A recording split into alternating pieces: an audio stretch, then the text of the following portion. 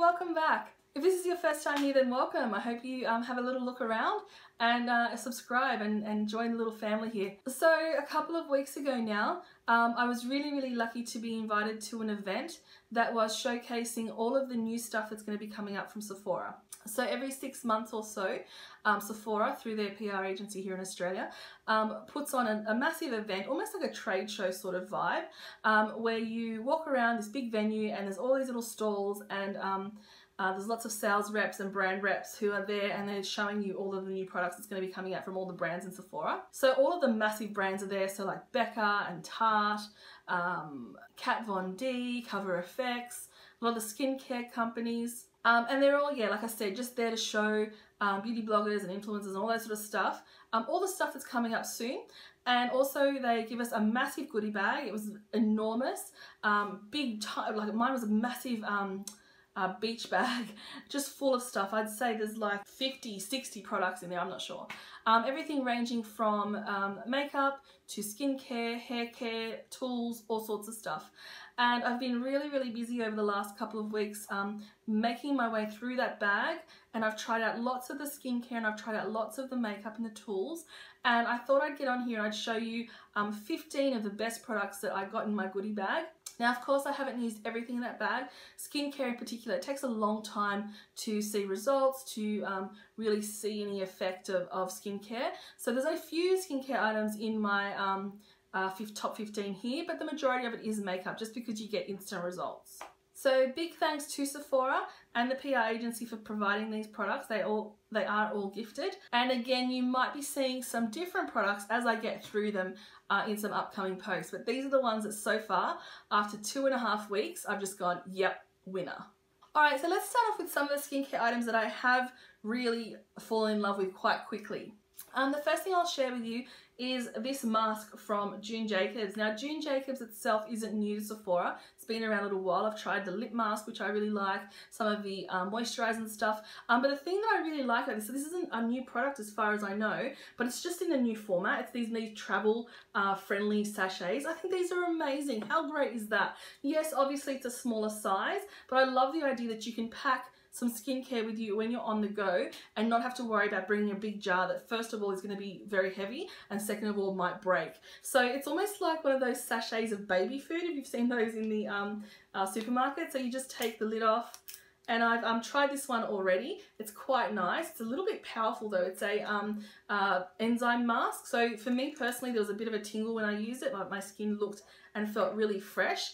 Um, I really like that these are really um, tightly closed. You really have to do a lot of damage to try and bust this open in your suitcase. So um, I just think this is a fantastic kind of innovative uh, packaging. Really, really like this one. The second item of skincare slash makeup, no, it's mostly skincare. It's from Makeup Forever and it's a hydrating serum. And I love putting this on underneath my moisturizer. So um, it's really, really thin and um, it just works like a tiny drop. I, I only use like two little drops and it covers the whole face and it makes the whole face feel like, it's almost like it creates a film on your face. It's really, really nice. I haven't tried a lot from Makeup Forever, so um, I'm excited that now that I've found this, and there's another product in this stash that I'm going to share with you, that um, you know, I want to try a lot more from their range. I've only really tried some lipsticks and stuff like that. The third product is also from Makeup Forever and it's a lip booster. So it's like a skincare item for your lips. So it's not quite a lip balm. It's a little thinner than a lip balm. It's kind of um, liquidy and um, the only thing I don't like about this is that it doesn't last all day on your lips. I do need to apply it two or three times if I am going to wear it throughout the day. But what I do like is that it smells really nice. It doesn't have any strong like taste or anything like that. But it um, just makes your lips feel so, so soft and supple. This is not something I was expecting to like. I just thought, oh, it's a really small bottle. It's quite expensive. Um, you know, it's just a lip a lip balm, right? But no, it's quite different. Um, I really, really like this one. This is worth trying if you are in store and you see it. If I was a person that used the word bae, and if you could call makeup or skincare bae, then you know that your cosmetics would be my bae, right? and um, um, and last year, about two or three times throughout the year, I had the cosmetics Confidence in a Cream as uh, one of my monthly favorites. And so I'm adding this now. This is the Bye Bye Under Eye um, Eye Cream. And um, I haven't seen any massive results with it or anything like that, but I just know that it smells really nice, it feels really nice, and my eyes do look really a lot more um, hydrated when I wake up in the morning. As I get a little bit older, I'm finding that not so much lines, although they're coming, um, but just the skin under my eyes is looking more and more crepey all the time. And this really light formula um, really makes um, everything just look a little bit more plump. So it's not, I don't think it's actually like plumping out my eyes, but just the skin looks fresher and plumper. So that's four. So number five, number five is the last, actually it's not the last skincare. Number five is from First Aid Beauty, which is going to be brand new to Sephora, and it's the Facial Radiance Pads. So basically what they are, a pre-soaked pad um, that has like uh, an exfoliant in it. And so you um, wipe it all over your face and it will overnight kind of remove some of that, um, the dead skin cells. Um, why I like these is because they're just as good as some really, really expensive ones in my collection, but they're not that expensive. So First Aid Beauty, uh, when it does finally launch in Sephora, is going to be one of those middle of the range brands. So it's, uh, it's not quite like cheap drugstore um, skincare. It's also not like very, very high end. It's kind of at a really good price point for those people just sort of starting out in skincare if you want some really good quality stuff but not at too expensive. So um, yeah, these, the reason why I really, really was blown away with these is because they, I actually might think they're better than some very expensive ones that I've gotten from Sephora. So um, keep a lookout for these. These are really a cult uh, favorite. Lots and lots of people love this. The next thing is from the same brand and this is kind of a makeup skincare hybrid. So this is a primer moisturizer. Um, the thing I love most about this is the smell. The scent of this is so delicious. Like I want to eat it. Like it's coconutty but not in like a sun lotion kind of way. Like it actually smells like a coconut dessert. And so it's a kind of peachy coloured um, lotion and you rub it in and it just gives your skin a really nice radiance and it feels really nice, particularly underneath a really matte foundation. So it's got this cooling effect, I can feel it right now. It's got this cooling effect, it makes your skin just look nice and hydrated. It smells really good. It's called the Coconut Skin Smoothing Smoothie Priming Moisturizer, safe for sensitive skin. So a moisturizer and a primer in one, and I can't believe how cool it feels on your skin.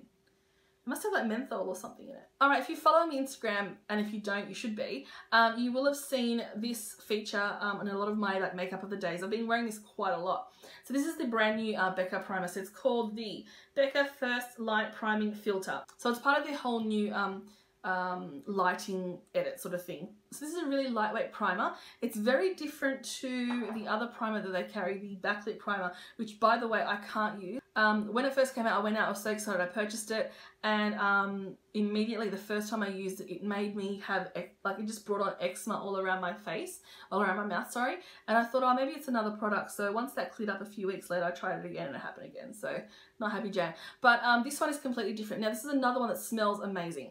It smells like, it's kind of citrusy, uh, I'm not sure, I think lemony, maybe grapefruit, I don't know. But um, when you put it on, like you pump it on, you put on like two pumps all over your face, and it's very thin, it's very refreshing, and it just like, I don't know, it just wakes you up. I just wish you could smell this, it's beautiful. So it's purple, but it doesn't go purple on the skin, but I think the fact that it is purple might have like a brightening effect, but it doesn't look purple at all. So it's not super shimmery like the um, Backlight primer is, it just kind of gives a um, all over slight glow. I don't know, I don't want to say that it's, it's not shimmery at all, it's just radiant. Let's say radiant. Um i've actually worn this a couple of times when i haven't worn makeup and it just makes your skin look really really nice. In terms of if it makes your makeup um, last longer I'm not sure. This is a really actually now that I um, these two are really similar in the fact that they are really refreshing and hydrating. Um, and this is one that I think I'm going to purchase um, when this runs out because it's just there's something about it I love try this one out Alright, I know this has been really skin based. I just said that there wasn't much skincare and then I've just gone ahead and given you a whole bunch of skin like related stuff. But this is another primer, three primers. Okay, so this one again, It Cosmetics, you know my feelings about them. So this one's different to the other two. While the other two are very hydrating and are very like refreshing and, and radiant, this one is all about like the mattifying. Um, so this one here reminds me a lot in the consistency, the smell, the feel of it, it reminds me a lot of the Hourglass uh, Veil Primer. Um, it comes in a pump pack, which I really, really like. Uh, let's see. So I've got that Radiant one on there now. Let's see what this one does. So this one is a pore filler. It doesn't have that super like powdery feel that the POREfessional has. Uh, it does so it doesn't feel super silicone but it does have that kind of slip to it.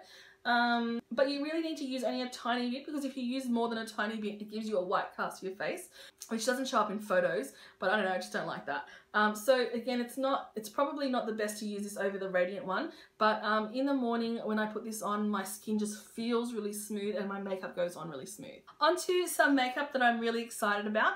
The first thing I'll show you, or the first two things I'll show you are the brand new brow products from Zoeva. So they've come out with um, a brow palette, which I haven't really used uh, properly yet, which is just a, a palette full of different colored brow powders and highlights. So what I have tried is the Graphic Brows Pencil. It's called officially the Waterproof and Smudge Proof Eyebrow Liner, Graphic Brows. And this is the Graphic Brow Fix. So this one here is a, so this one here is a tiny little um, brow pencil. Um, I like this one better than the Anastasia one. I feel like for me, there's more pigment in it. I've always find that the Brow Wiz, um, is too hard and um, I just have to press really hard to get any colour out of it. This one has a lot more pigment in it, but it's still so thin that it looks like hair um, uh, strokes. And then it's got a really nice little spoolie on the other end. I can't do it because my hands are full of primer. But yeah, really nice spoolie. And then this is um, a brow gel, it's kind of really sticky and goopy, but not in a bad way. So it really works very well to hold your brows up upwards. Um, I like to feather my brows quite a bit because I've got a lot of brow hair, but there's not a lot of, like it's quite, they're quite thin. So when I feather them and, and they seem to look a lot fuller, I'm having trouble speaking today, but um, this one works really well to just kind of bulk them out a little bit. Um, so I really, really like these two and I can't wait to use the brow powder. All right, next is a palette and it's this palette here from IT Cosmetics. Um, I'm wearing it today on my eyes for just a really soft, subtle kind of look. Um, if you've never used IT Cosmetics um, eyeshadows, um, give them a try. They're really, really soft. And just like all of the cosmetic stuff, um, they are skincare and makeup in one. So the um, IT Cosmetics eyeshadows always have like anti-aging properties to them. Um, so what this palette has is three um, eye kind of shadow bases, like they call them foundations, I think. Um, yes, but some three um, different sort of like base colours and then a whole range of shades. And this is kind of new for IT Cosmetics because all of the Cosmetics shadows that I have, I've always been quite neutral. Um, and while this isn't the most like colourful palette, it is a lot more colourful than I've seen in the past. So there's some really nice shades in there. Um, I really feel like these sort of shades or these sort of um, shadows are really great for mature skin. They don't tug at all, they're really pretty, but they also have a lot of really nice sensible colours. Not that you have to be sensible, but you know what I mean. Um, next onto another item that I'm using today. Um, you guys know I've talked about Nudestix quite a lot. Um, they've come out with a whole bunch of new products. Some skin glosses which you use on your eyes or your cheeks. Some new shades of lipstick. But they've come out with a new formula called the Magnetic Matte Lipstick, I think it's called. Yes. Yes. Magnetic Matte Lip Colour. And so what they are is the way that Taylor described them to me was um, a liquid lipstick in pencil form. So they are a really smooth feeling lip pencil that dry down to be quite dry and matte and are absolutely transfer proof. So this, I did that um, swatch a little bit earlier and they are, you can't, you can't rub them off. They're absolutely like budge proof. So they do feel a lot like, so they are a little bit dry, but they do feel exactly like a um, liquid lipstick. They look uh, quite nice on. This is in the shade uh, Saint. It looks a lot darker in the um, on the crayon than it actually is. It's quite a nice rosy shade. Um, but yeah, they don't budge at all. This is the hand that had all that primer on it. Absolutely nothing, can you see? Um, so yeah, these are really fantastic for all day wear. Um, the normal intense matte lip and cheek pencils. You can use those on the cheeks too and blend them out and use them on the cheeks as well. These ones, it's not recommended for that because they will dry instantly. So you put them on, put your pencil down, try and blend them out and you just have a line. so not recommended for that. But um, otherwise, I really love the idea of this.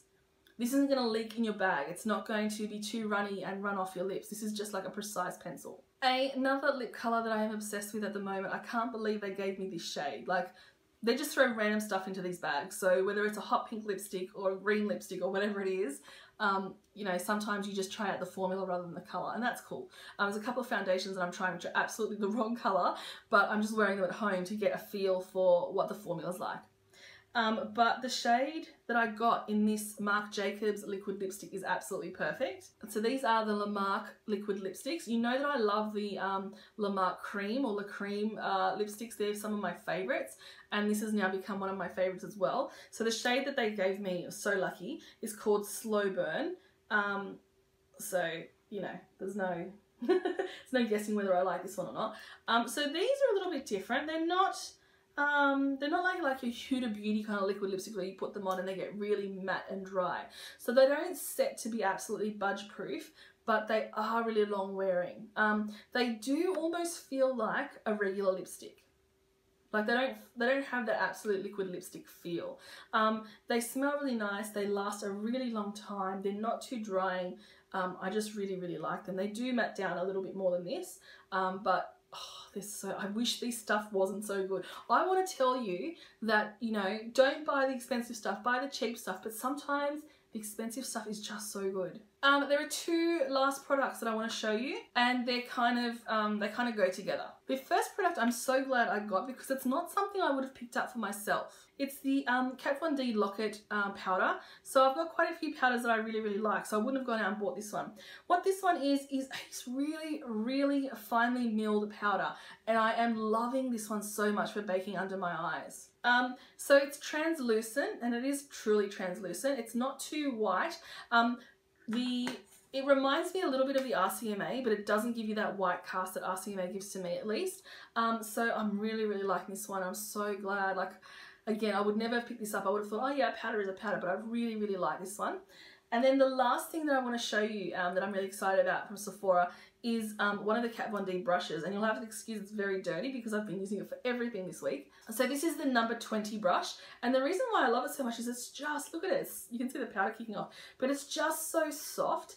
And the fact that the bristles are a little bit longer, um, I don't know, it kind of gives it this flexibility where it just hugs your face Again, really, really soft, um, cruelty free, um, really cool design. But uh, I've been using this uh, to set my makeup. I've, look at this.